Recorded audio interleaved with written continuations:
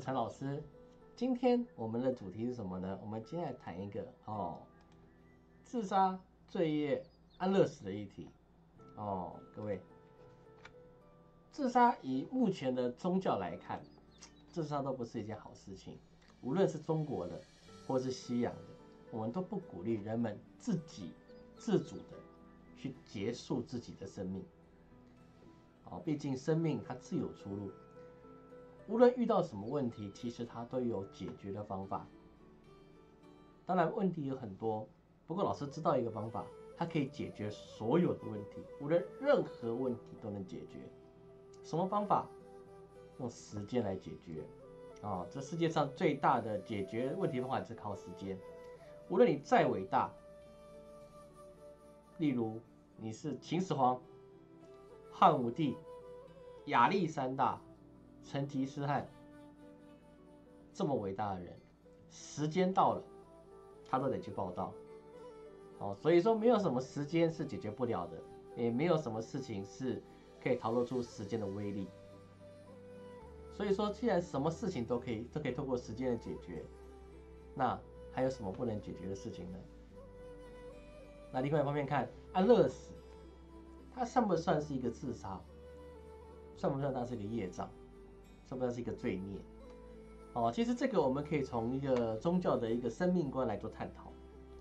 好，首先我们以佛教的生命观来看这个自杀这件事情。啊，人家说啊，那个师叔说你不能自杀，你这个是罪业呀。好，那为什么？从哪里讲出来的？你告我看人家怎么讲的嘛？还真的有这么一回事。哦，在佛教里面有一部经典叫做《四分律》。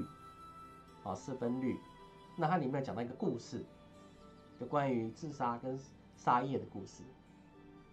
好，有一天呢，哦，有一个叫做悟利伽难提的一个修行人，哦，他在进去世尊那么修行地里面，他看到有一个比丘坐在那边，我们称他为厌世和尚好了。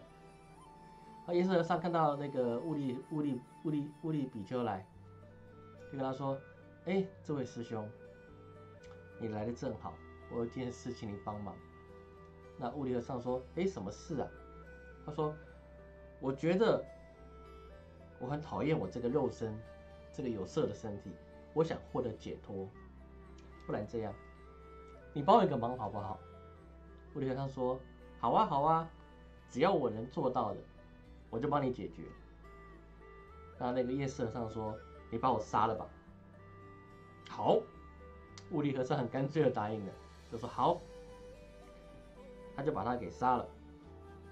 杀了之后呢，他拿了刀去河边要把刀洗干净。这个物理和尚也蛮爱干净的。他想想不对呀，你他叫我杀，我就杀，他也没犯什么错啊，那我是不是做错了？这个物理和尚会不会想到太晚一点？哦，但是这个时候呢，天魔就在他的就是恶魔。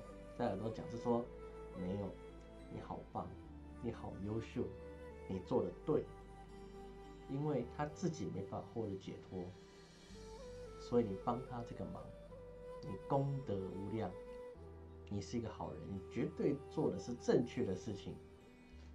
物理和尚想，哦，原来如此，那我应该更积极的把这个事做好，所以说他就把刀提着，走回去寺庙内，啊。提着刀，滴着血，往一群和尚走过去，一群比丘走过去。那比丘看到他提着刀，滴着血走过来，每个人说：“你想干嘛？”那那时候乌力和尚跟他讲：“各位师兄，不要怕，放轻松，我是来帮你们的。”那些比丘说：“你拿着刀，你要怎么帮我？你要帮我什么？”我就想跟他们讲：“哎。”我看你们修行这么辛苦，既然修行是为了解脱，那我现在就让你们解脱。所以悟利和尚就追了这些比丘，一个、两个、三个、四个、五个，总共杀了多少人呢？悟利和尚总共杀了六十个人，六十个人。哦，那为什么可以杀六十个呢？各位，过去。叶问可以一个打十个，那为什么悟令和尚可以杀六十个人呢？因为他是印度人，印度人没有做不到的事情。好，开个玩笑哈。那最后世尊赶回来了，然后香客鸟兽散，寺庙寺院修行地里面血流成河。世尊就问他：“你为什么要杀这么多人？”悟令和尚说：“您教我是说，这要人世间活在世界上，就要获得解脱。这些师兄没有办法自己获得。”所以我帮他们，帮他们获得解脱。哦，世尊他说，世尊就会跟他讲，您会称赞他吗？世尊会赞同他的做法吗？当然不会。所以世尊到后后续就跟他教育，不是这个意思。哦，那这个有机会我们后面讲。但是呢，我们从这个里面看来，我们知道一件事情，这就是对生命的错误认知。好像死了就可以解脱了，什么烦恼都没有了啊！其实不是这样，我们可以把它比作像打游戏一样。哦，你这样这样就这么样的结束生命，你就会获得获得一个结果，什么结果？喷装备、掉经验、失技能，然后还得重来再打一次，有意义吗？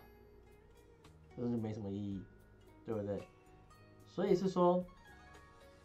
佛说的生命观，并不是说叫你死后得到超脱，而是要你活的时候就活得像一尊佛。怎么说呢？师尊说过，他得到的时候就说过，他得得得正，菩提树下得正，正得什么？众生皆苦。为什么众生皆苦？啊，为什么人会人会感到痛苦？那些人特别的受到特别待，别人不苦就人才苦嘛？不是这个意思。人会苦的原因是因为想要的得不到，拥有的失去了，所以我们感到痛苦。众生都苦，唯有怎么样不苦？无欲则刚。当我不要的，这些就没有了价值。哦。人生就是就是经过历练而成长。比如说像小孩子，我们看到一些小学生，哦，幼儿园的，你可能他这个小男生手上有个最新的游戏机，哦，掌上型游戏机，最新的手机，他就像英雄一样，因为很多游戏可以玩，大家崇拜他。到了一个青少年，诶，有一台拉风的摩托车，以前叫豪迈，现在叫进站，哎，人家觉得他很棒。各位，现在看在看我们这个视频的各位，你会因为你现在身上有一百张的光之美少女的卡片，你会觉得自己是人生胜利组吗？你会因为门口停了一台属于自己的摩托车，你觉得你高人一等吗？不会，为什么？因为我们静牙提升了，我们的静牙提升了。我们小时候可能因为玩具坏掉了。实在是痛苦不堪。我们可能因为初恋没有得到，或是我喜欢这个人，这个人不喜欢我，我不喜欢人，他一直喜欢我。过了十年，再回首看这些事情，哪一个又不是又好气又好笑的？哪个不是又好气又好笑的？所以说，众生皆苦的原因，是因为我们想要的，有想要的，所以是说我们怕失去，所以我们很痛苦。哦，可是各位要知道，我们所能有的东西，都是从别人身上取得的。我们失去的，只是又又到另外一个人身上。所以说，师尊说，师尊在讲法讲过一个重要的观念是什么呢？一切有为法，如梦幻泡影，如入已时殿，应作如是观。所以佛说，自杀是不是重罪？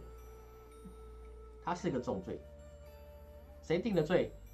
不是世尊定的，不是任何人定的，因为自杀的重罪是自己对自己判的罪，然后自己再叫自己去伏法，去结束自己的生命来惩罚自己，对不对？自杀就是自己动手，为什么要自己动手？因为自己过不了自己那一关，自己过不了自己那一关，而不是别人叫你去。而是你自己决定，我过不了这一关，我不想解决这个问题，我不想面对它，种种很多很多的原因。所以说，我自己动手结束自己生命，因为不是我得不到，就是我失去。还有第三个可能吗？比较少，对不对？所以是说，自杀的罪业是来自于自己给自己判的。怎么样减轻这个罪业？在事情发生之前，我们就要学习，学习什么？学习我们佛法，学习我们道法，学习什么？从放下开始。也从放下结束。好，那同样的，安乐死呢？安乐死算不算自杀？好，这个就是完全不一样的事情，从根本上的不一样。因为安乐，所谓的安乐死啊，当然就是我们尽了一切可以能做的医疗行为之后，由专业医生已经判断了，任何一切的治疗都将无法解决这个病痛，而且只只有痛苦跟浪费。并且以这可预期的时间，哦，会死亡。安乐死是什么？只是类似像我的飞机新的旅程要开要要上要要启程了，而我提早一点出发，仅此而已。安乐死并不是为了逃避人事物，不是因为怨恨。不是因为悲伤，不是因为痛苦而选择结束生命，而是因为他了解了、接受了、放下了，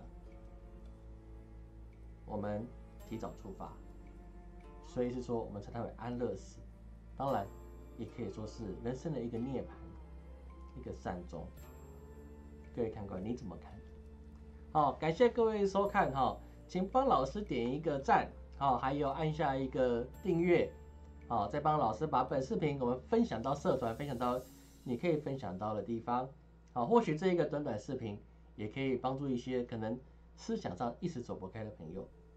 好，谢谢各位，好，我是陈老师，我们下次见。